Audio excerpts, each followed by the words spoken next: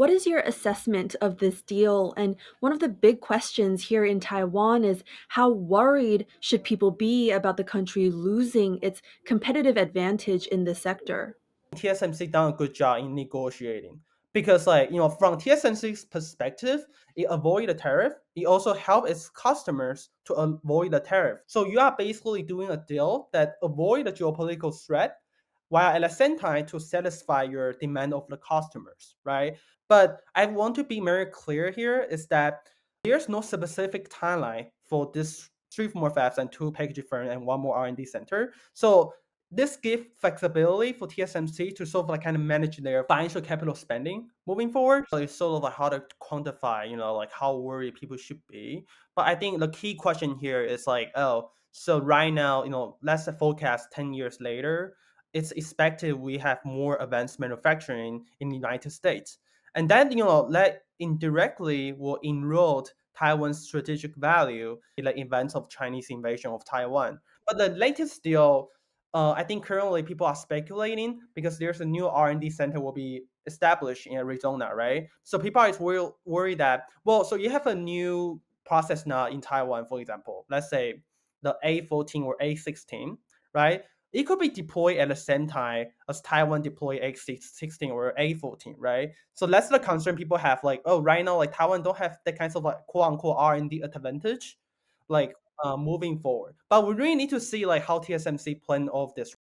So it looks like TSMC's additional investment will keep going to Arizona.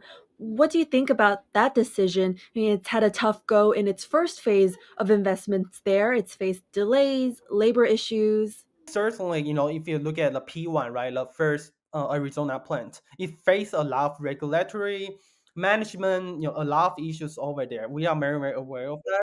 I do think the fabs that moving forward, it will be actually be easier, right? Like kind of TSMC, they can st- uh, start getting familiar with the regulatory process. So that will be easier for them to navigate.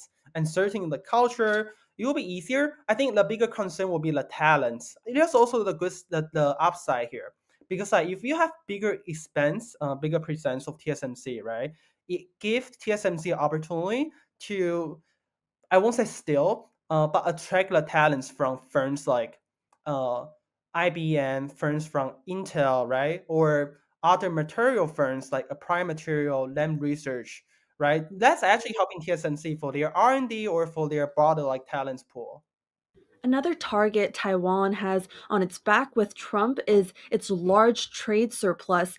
Do you think Taiwan's tactic of encouraging more investment to the US, now TSMC's $100 billion pledge um, there, is that enough? But also, when, if ever, will it be enough? This is a good question. I think you know I certainly couldn't give you the answer or make any conclusion on like whether this can satisfy Trump.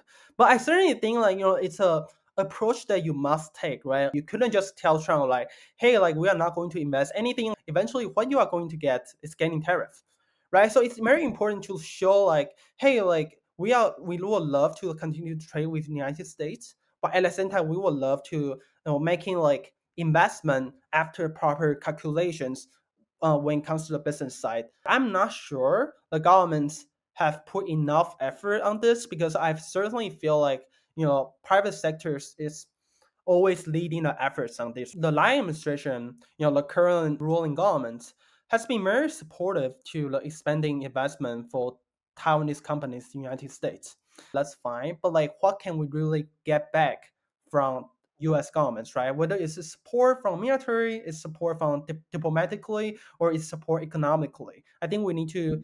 be very clear on what we can get back, right? You don't want to just like give a lot of things and without getting back anything.